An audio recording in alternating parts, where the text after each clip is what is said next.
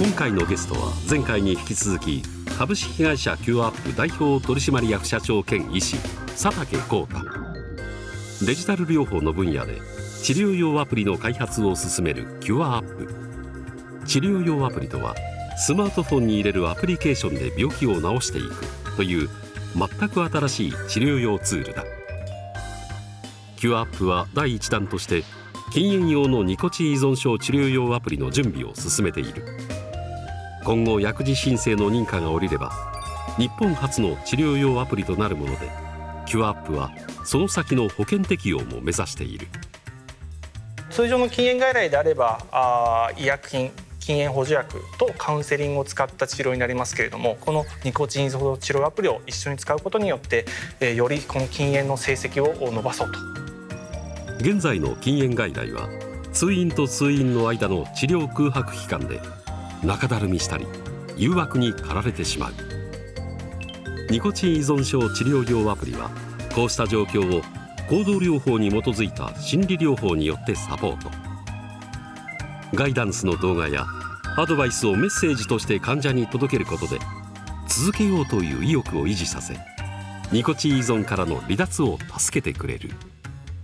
アプリを使った方がですね使わなかった群と比べて13.4%の禁煙継続率の向上を認めました。飲む注射する、はい、塗るもうそれでずっと人類は来てるんですよね、だからここ初めて変わっていくっていう、はい、そういう兆候が見始めてる。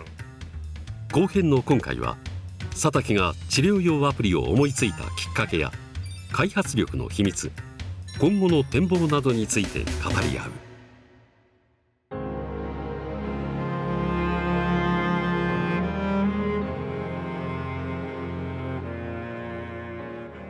そも佐竹さんが治療アプリを作ろうと思ったきっかけは何でしょうか？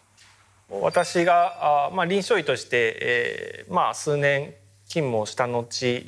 まあ、海外に留学していた時のことになります。あのちょうど2013年私があの米国のジョンズ・ホップキンス大学という、まあ、医療系で、えー、いろいろな研究をしている大学があるんですけれどもそこで、えー、この医療情報科学と呼ばれる分野の研究していた時があがきっかけになります。指導教官がですね私がいろいろと医療用アプリだったり医療の IT のことを研究する中でこの論文面白いから読んでみろというふうに紹介された論文がまさにアメリカで FDA 承認第1号となった糖尿病の治療アプリ、まあ、ウェルドックブルースターの事例だったというところです。うん、臨床医として5年ほど働いていた佐竹は全く異なることを学んでみたいと海外へ留学。中国にあるビジネススクールで経営学。さらにアメリカの医学大学では公衆衛生学を学んだ。しかし佐竹はその後の自分の将来設計を決めきれずにいた。そんな時一つの論文に出会い衝撃を受けた。それは糖尿病の治療用アプリについて書かれた論文でアプリによる患者の生活習慣や運動習慣の指導で薬と同等の治療効果を上げたという驚きの内容だった。これを読んだ瞬間にですね、えー、これまでの私の医師としての治療の考え方がコロッと変わったんですね。あのね病気を治すというといわゆる薬を処方して治すか。あとは医療機器を使って、えー、まあ手術なり手技をして治すか。この2つしかないというようなことがもう当たり前だったんですけどもこの論文を見た瞬間に薬医療機器ではなくてアプリソフトウェアという全く違った考え方全く違ったツールで治療できるというこれにですね、えーまあ、本当に興奮をしてですねこれをぜひ日本から世界に広めたいというふうに思ったのがきっかけです。その前お医者さんをされていて留学されたということなんですよね。なぜ留学をしようと思い立たれたんですか？そうですね。えー、まあなぜかというのはなかなか難しいんですけど、医学部また医師をやってるとですね、まあ、医療医学をずっとやりますので、えー、ただ方やあの私の同年代の他の人たちはあ、まあ、会社で働いたりいろいろな事業をやったりしてるのを見るとなんかどういうもんなんだろうっていうふうな漠然としたあの興味があったっていうのは大きいかなと思います。のターニングポイントについて北さんはどうお感じになりますか？非常にいいことやられたんじゃないかなと思いますね。まああの中国はビジネススクール行かれて MBA 取ってこられたんですけども非常にいいビジネススクールアジア圏の中でも非常に定評のあるシーブスっていうビジネススクールですよね。それで今度そのシーブスとジョン・ホプキンスって交換留学生の制度があってそれでこのジョン・ホプキンスジョン・ホプキンスはもうアメリカでも定評のある特に医学では定評のある大学ですからそこで今度はあまあ、マスターをまた医学の領域で、えー、お取りになると。パブリックヘルスですよね。ね公衆衛生学で取られた、はい、まあ、そういう2つのことっていうのはこの人生をこれからある意味作っていく上で非常に大事なことだったんだろうと思います。まあこれもすべからく天の廃材なんですけどねまああのそれこそスティーブ・ジョブの「コネクティング・ザ・ドット」っていうやつですね。はい、ですね。このドットは点をねで結局、うん、まあそれが全部まとまって今日作ってるわけですよね。そうですね。でもお医者さんをされていてそこからその経営学学ぼう大学院に進まれてかなりご努力されたというか勉強必要だったんでしょうか？まあ勉強は頑張ったなというふうには個人的には思っています。勉強好きなんですよ。そう好きなもの好きじゃなかったできないですか、できないです。なんか気が遠くなる。まあ、これが苦だとね、まあそれも絶対続かないです。苦と感じないそこに何かの発見があり気づきがあり面白いと思うことがありとそういう中の積み重ねの勉強なんですが1から100まで暗記するっていうのはこれはつまらないと思うかもしれないけど自分自身が主体的になり物事を突き詰めていく中でいろんなことが発見できたり気づいたり今までない世界ができたりそれは楽しいことだと思いますよ。そうですねまさに夢中になってたのかもしれないですよね。はい、その人生を変えるような、まあ、出会い論文との出会いがあってでもすぐに開発を始められたということなんでしょうか？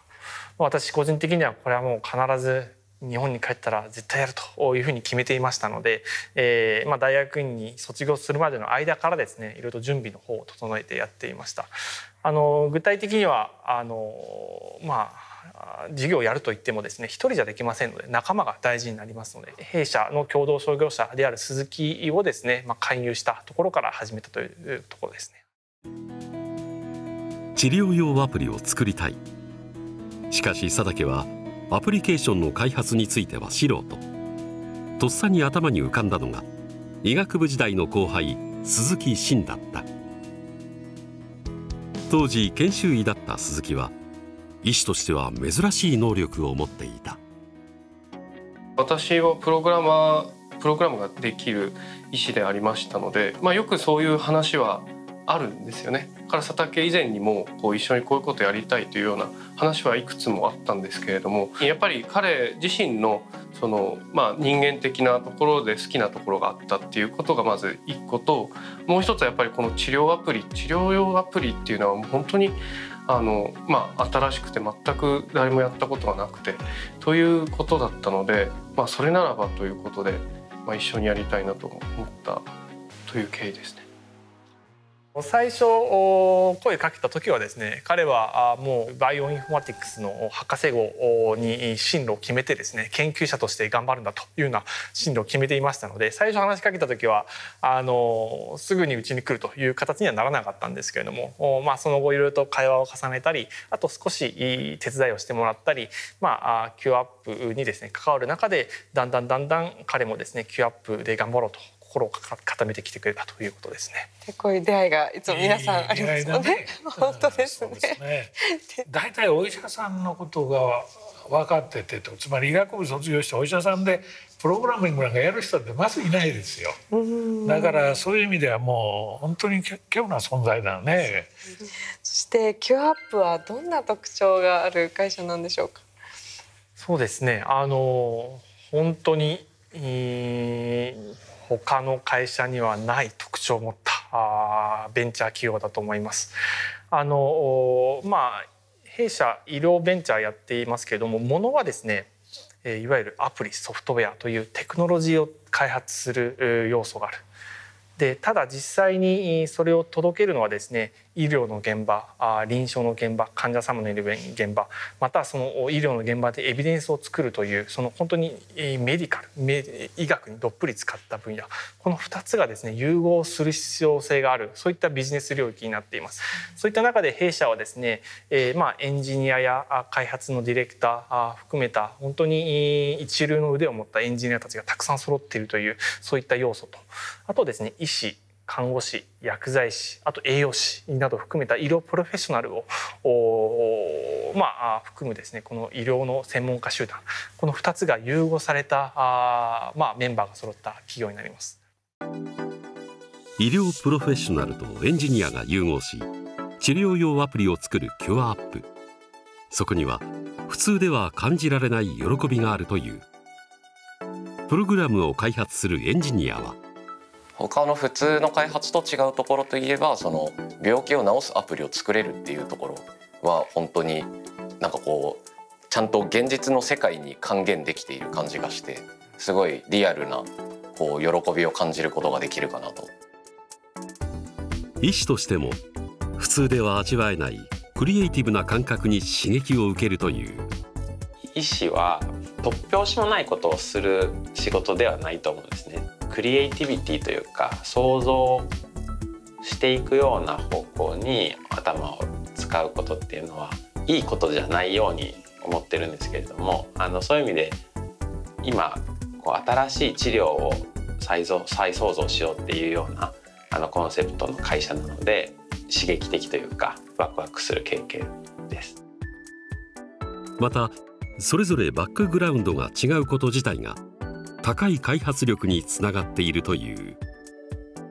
まあ、やっぱバックグラウンドがいろいろ違うとあの普通にあの会話をしてるだけでいろんなアイデアが出てきたりとかあの一つの仕事だけをやってるとやっぱ思いつかないようなものも出てくるので、まあ、そういうところがすごいいいなっていうところと、まあ、会社全体としてみんな一体感を持ってあの会社をあの動かしていきたいっていう思いをみんな持ってるっていうのがすごいあのインパクトがあっていい会社だと思います。さまざまな専門性の融合。それがキュアアップの特徴であり最大の強みなのだ。僕は役員のね経歴見てたら、はい、まあお医者さんはいるわね。弁護士はいるわ。会計士はいるわ。全部企業として必要な人が全部揃ってるわけ。すごいですね、うん、だからよくそういう人たちが集まったなと。これはね、えー、まあ会社作る一つのフォーメーションだよね。これを会社を形成する設立するということ。どういうフォーメーションで作っていくのかそれから例えばニコチンの依存症から始まる。これはまあ母校でもある慶応の医学部呼吸科。これ先生たちももうみんな知ってる間からでしょ、うん、そしてナッシュってこれあの東大とやられてるけどこの東大の小池先生、はい、小池先生っていうのはもう肝臓ではねトップクラスで学会の重鎮ですよ、はい、そういうところとこの誰もまだ薬作ってないそういう状況の中でまあフォーメーション組まれると。そして高血圧は自治医科大学でしょ？そういうフォーメーションを大体決め決められると大体これ勝ったか負けたかと。いうのがもう分かるね。ビジネスの世界ってこのフォーメーション作りとかアライアンス作りってものすごい大事なんですよ。だからこれつまらんとこと突っ込んでたら、うん、あれダメだよとこうなるんですね。それをピシッとしたところと全部作られ会社の中に集められた人も極めて有能な人をピシッと集められてるね。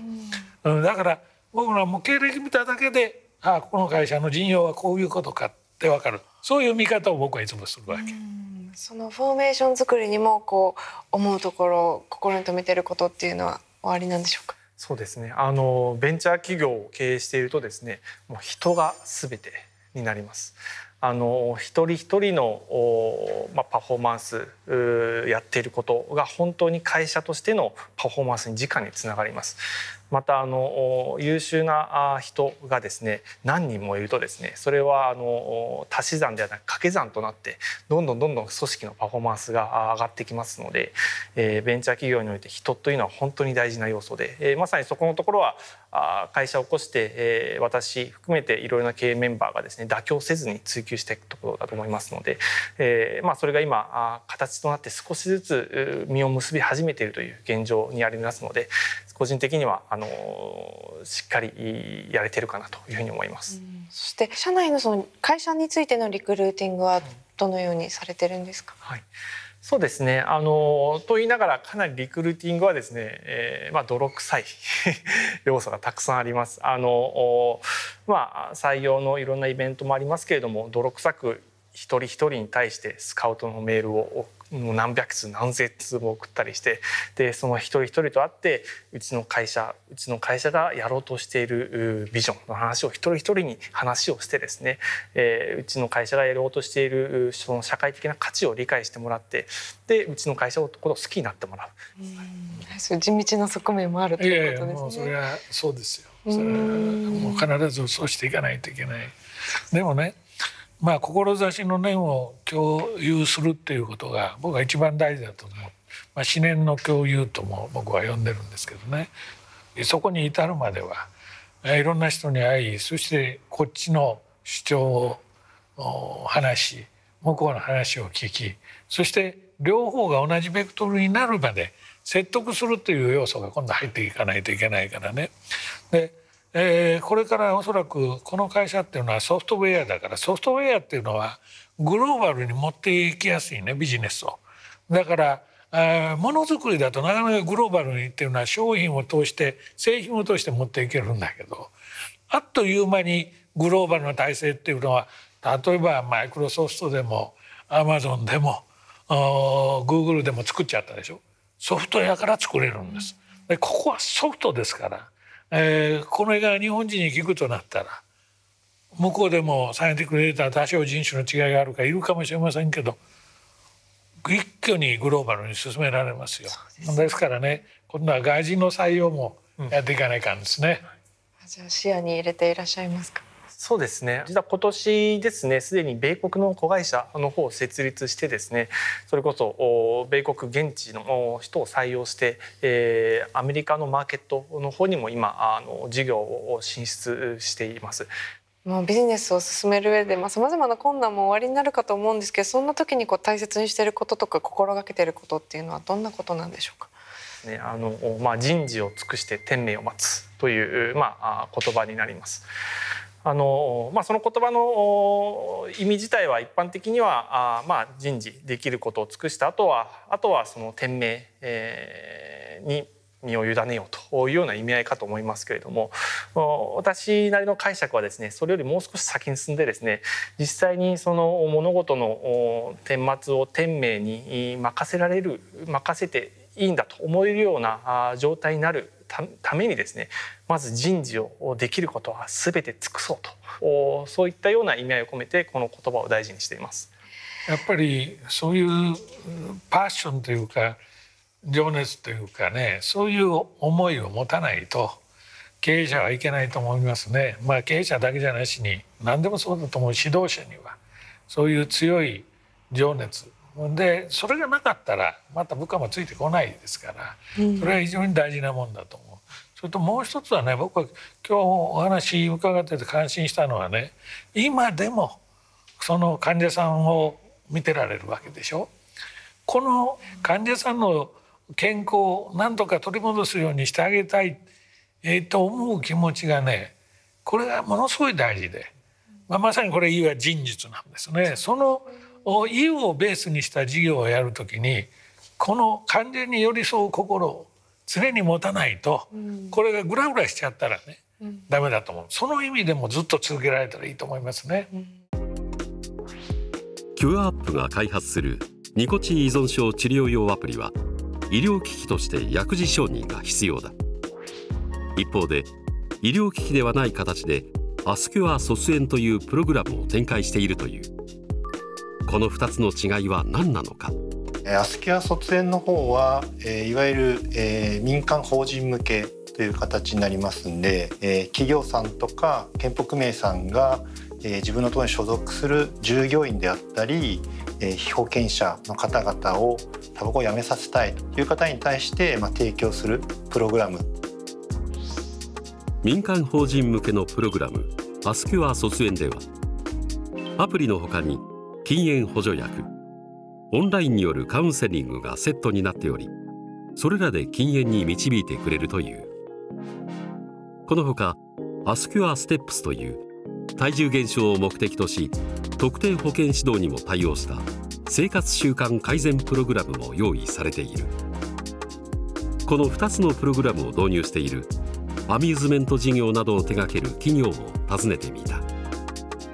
私どもはサービス業という事業をやらせていただく中で従業員が健康であることはこの事業を展開する中では一番重要なことだと思っておりますし経営理念にもございます各自が満足する一生を送ることであると。いう言葉を実現するためにもやはり健康であることが大事だと思っておりますので一度やってみようというふうに至った次第なんですね。はい。社員の健康を考えこうしたプログラムを導入する企業が急速に増えているという。何社ぐらいになってますか？130社、はい、卒園のプログラムに関してはですねすでにあの導入法人数130法人を超える、まあ、企業健康保険組合様に導入させていただいております。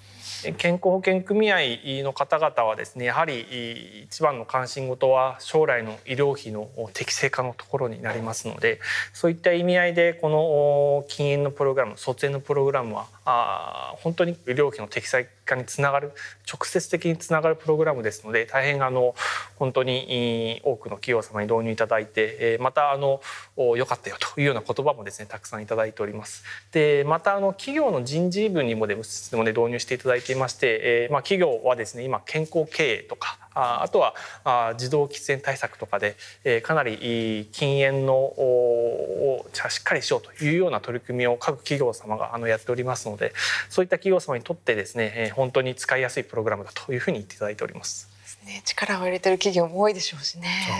有効ですよね。この治療用アプリは将来的にはどのようになっていくというふうにお考えですか？はい。今までの医療の歴史を振り返ってみるとですねいろいろな病気に対して治療効果を持つ医薬品がたくさん開発されました。また医療機器に対してもいろいろな病気に対して治療効果を持つ医療機器がたくさん開発されました。まさにこれと同じようなことがこの治療用アプリにも起きるというふうに考えております。あの糖尿病を含めた生活習慣病あとはうつ病を含めた精神的な疾患がまず最初のポイントになると思いますけれどもそれ以外にも慢性的に管理しなければいけない疾患がたくさんあります。まあ、あの喘息だったり免疫系の疾患だったりあとはですねがんの管理とかも少し慢性的に管理する必要性がありますので、えーまあ、そういった領域への可能性も十分にあるというふうに思いますので、えー、数えきれないほどの病気に対してそれぞれ治療効果を持つ治療用アプリプリが今後たくさん出てくるというふうなあ未来を治療アプリの未来を私は考えています。あもう僕は本当にこの IT っていうかまあ今あいよいよ医学の領域にも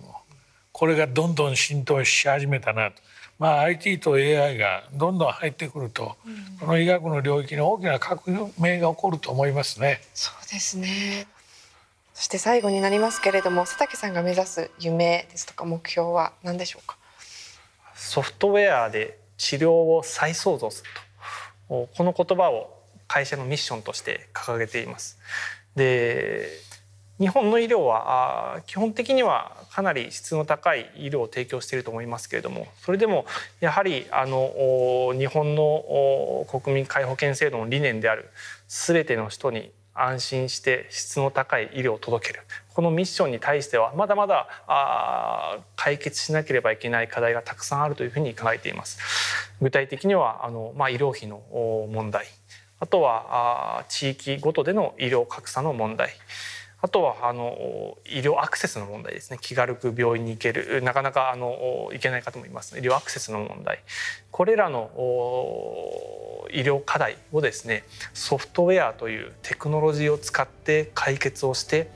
その結果あ国民皆保険の理念である一人一人の患者様が安心して、えー、質の高い医療を受けられること。